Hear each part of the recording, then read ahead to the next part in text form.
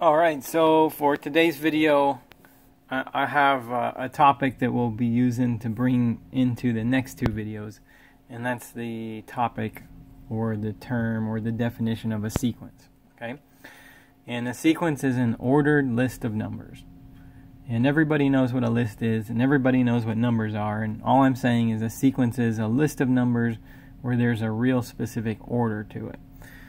Okay, so example, like let's take something easy and tangible to get this idea going in your mind. It says, write a sequence, uh, write the sequence of even numbers starting at 2. Okay, so I think of the list of numbers that are all even starting at 2. Alright, so we might do something like this. We might say uh, the first term of the sequence is 2. And if we're going to write the list of even numbers, the next term is 4 and then 6 and then 8 and then 10 and then you can kind of see how uh, well that list would would literally never stop. I mean there's always going to be the next number. And so to say or to indicate that the sequence goes forever and that there never has to be any into it we just we put these three dots and those are called ellipses okay? So I, I can't write down the entire sequence of even numbers because that list never stops, but I can show you that that's what it looks like, okay? All right. Now, in order to have this question feed into the next one and the next one, uh, there's some some notation or there's some symbols that we use to go along with this. Uh, if I ever were to write down something like this, an A with a subscript 3, okay? So A subscript 3 in the context of dealing with sequences, all that would call for is uh, the third term. Okay? That's what that means. And then I guess one way to identify what the third term is is you could look at this list and say that's the first term, that's the second term, that's the third term, and the third term is in fact a 6. Okay? All right. Uh, and you can probably use your imagination from here, but why not do one more? What do you think uh, A subscript 5 means? Well, that just calls for uh, the fifth term of that sequence, whatever it is, and then you could just count uh, 1, 2, 3, 4. The fifth term is 10, right? Okay. So when you see A and then a subscript, you, it's just indicating a specific term. Third term, fifth term, whatever you want. Okay? All right, now, so keep that in mind and just visually sort of have that uh, as a mental picture as we go on to this next problem. Okay? It says, what's the second term of the sequence? Okay, so there's the sequence. And the way I told you that sequence was I just described it. I said, here's what the sequence looks like. It's just even numbers, and it starts at 2. Okay. Um, and then I guess on that one, on the next one that you see right there, then I could give you a formula. All right. Now, how do you think you would use this formula in order to find uh, whatever given term you want? You know how it says AN right there, and then N is the input over in this formula? Okay, so here's what you do. If you want the second term, uh, then you let N be 2 in that formula. Because look at what it says if you do that. It says A uh, subscript 2 is equal to. And so already it's like that saying the second term is equal to whatever math you would get by putting 2 into that formula that you see over there. Okay?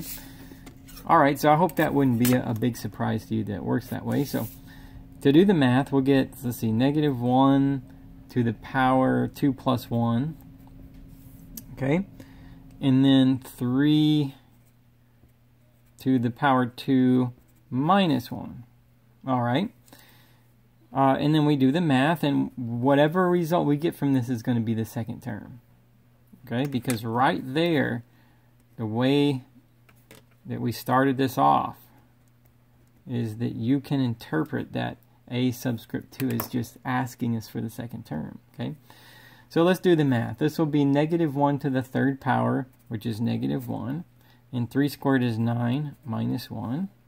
Okay, so we'll get negative 1 over 8. All right, so let's write our answer like this. To give a final answer, the second term of the sequence is negative 1 over 8. Negative 1 eighth, in other words. All right, so that's how we get started. And when you do the assignment, that's the kind of uh, basic example that you see. Okay, let's take it a step further to go all the way through the stuff that you might see uh, on the My Math Lab assignment or in the book. Here it says, uh, write the second term of the sequence. Sounds like the other one, but the formula is given in a different way. Okay?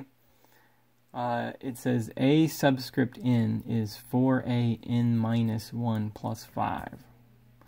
And then it tells us that a1 is 8. So it's like we have the first term, and then this gives us a way to find all the others that come after that. All right? Okay, now, I, you know, we could do this one like the last one, but what I'd like to tell you is that there's there's a way to read this, okay? Uh, that it'd be worth noticing. I mean, a sub n is, it could be any term. It just depends on what you put in for the n. But a sub n minus 1, well, n minus 1 is the number right before n. And so that's the term that comes before this one. So it's sort of like saying that uh, any term is 4 times the one that came before it uh, then you add 5. It's kind of like that. All right. I'll put that in quotes as if uh, I understand that this is what that says if I was to say it verbally. Okay. Anyway, so let's do this. Uh, if you want to try to work it that way verbally with what I have there in red ink, then you can go ahead and do that. I'll leave it up to you. But I suppose if if we think of it like the last one, and I just want the second term, then the thought process should be the same. It's like if I want the second term, then I would have to want that to tell me the second term. I would have to let n be 2, right? Because if you put a 2 right there, what's it say? a subscript 2, which means the second term. Okay?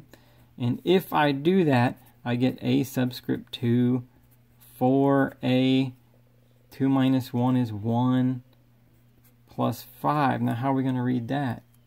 It says the second term is 4 times the first term plus 5. That is like saying that any term is 4 times the one that came before plus 5. Uh, do we know the first term? Yeah, it's told us first term is 8. So we'll go A2, the second term is 4 times the first term, which was given to be 8, plus 5. So doing the math, we'll get 32 plus 5, we'll get 37. Okay? Let's write our answer like this. The second term, indicated like so, is 37. All right. So, well, is that one different than the one that came before it? A little bit, but still the same principle and the same way of reading the formula applies. Okay? All right, now let's take one step further than that, and we'll say uh, uh, this formula given for the general term of the sequence, you can find any term you want with that.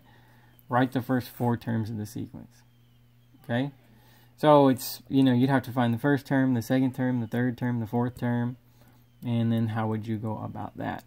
Well, it's if you want, I mean, look at that. It says a sub n. If I put a 1 for the n, I find the first term. If I put a 2, I find the second term right? So we could just, if you wanted to, if you wanted to show a lot of work and ha have your thought process involved, we could say, uh, look, the first term, uh, you'll find that by letting n be 1 because in that formula, if you let n be 1, it says a subscript 1, which does in fact mean the first term, is equal to uh, 5 to the first power or just 5. Okay? And then it wouldn't really be any different as far as how you find the second, third, and fourth terms. So I'm not going to, see this deal I wrote right there, I, I'm not going to keep writing it because it's the same idea. But, you know, look at that. If I put a 2 for n, then I get like so. I get the second term's 25. If I put a 3 for n in that formula, then I get a sub 3, the third term, 5 to the third power, 125. And if I put a 4 for n, a sub 4, I get 5 to the fourth power, which happens to be 625. Okay, so there's your first four terms, the first term, second term, third term, and fourth term. Let's go ahead and write our answer like this. The sequence would go 5 for the first term, 25 for the second term, 125 for the third, 625, and so on and so on. There's no reason that you wouldn't find more terms. It's just they only ask us for the first four, and there they are, but the list could go on from there. Okay? All right. So hopefully, with that assortment of examples, you understand how you read all the symbols and understand what a sequence is. Uh, a few other things. Let's do one more where we find the first four terms, but where the formula is is different. And then one last thing uh, summation notation, how you how you interpret that. Okay. All right. Now, I suppose with with this one, I could have found the terms in any order I wanted to. I could have found the fourth term first by putting four in, and then the third term, and you know I could have done it in whatever order I wanted to do it. Uh, but here, I'm, I have to find the terms in order. Okay. And it's because all that says is any term is the one that came before it plus 9. So if you wanted to, you try to find the fourth term first. It's not going to work. You can take my word for it, but you, there's not enough information. Okay, so let's do like this. Uh, to find the first four terms of the sequence, I notice like right off the bat, I'm told that the first term is 6. Okay, so 6 first term. And then, so I'm going to put my answer over here in the box. I put a comma. I'm going to put the second term after that, and so on and so forth. Um, anyway, how do you find the second term? How would you manipulate this formula to find the second term? We would need to let n to be 2. Okay? And if we let n be 2, then that formula says a2, which is the second term, is a1 plus 9. Uh, what's a sub 1? a sub 1 is the first term. That's known to be 6. So it says a2 is uh, 6 plus 9, or 15. So I got the second term as 15. Okay? What about the third term? How would you use this formula to find the third term? Uh, I would need to put a 3 for the n. If I put 3 for n, then look at what it says. It says a subscript 3. That indicates the third term. It says is equal to a2 plus 9. It says the third term is the second term plus 9. How did I get the 2? Well, I put 3 for n. 3 minus 1 is 2. And the second term is 15. Okay, So I'm going to get uh, 15 plus 9, or 24. Okay. So I get up to the third term. Now, you know, I you'd put 4 for n to find the fourth term, and I'll just tell you, you'll get 33 for that. Okay? You can follow me up to here. When you go ahead and try to do the fourth term in similar fashion, tell me that you get 33. And then it goes on and on. There's There would be a fifth term, and a sixth term, and a seventh term, and so on. Okay. But that wraps that one up as it is it asks us to just give the first four terms of the sequence. All right, now on to something different. Now this does not look like the others, and it's it's not really the same kind of problem, but we need to be introduced to this other type of notation in instructions. Uh, notice it says find the indicated sum, and then we get this symbol right there, which is called the, the summation symbol. Okay? And to give a quick explanation of that, uh, a sum means that we're going to add a bunch of things together, okay? And it's like that we start by plugging in that number into this formula. And then we work our way up consecutively to this one.